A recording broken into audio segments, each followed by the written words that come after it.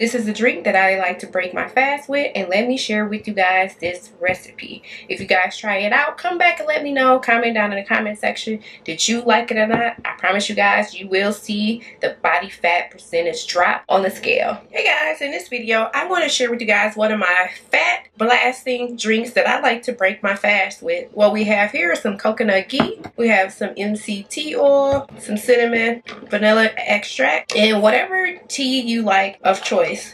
Today, I will be using the Bigelow Matcha Green Tea with turmeric. So let's get this recipe started. Let's place my glass under the Keurig here. Add our tea bag. It's about 8 ounces of water. Adding 1 8 teaspoon of, of the vanilla extract that I'm adding here. Next is the ground cinnamon. I'm using 1 8 of the cinnamon. Next, I'm going to add some MCT oil. I'm going to do a tablespoon, followed by a tablespoon of the coconut ghee.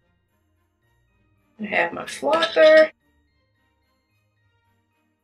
And I add one tablespoon of monk fruit for two minutes and let it seep until it's all ready for me to drink. Into the next one. Bye.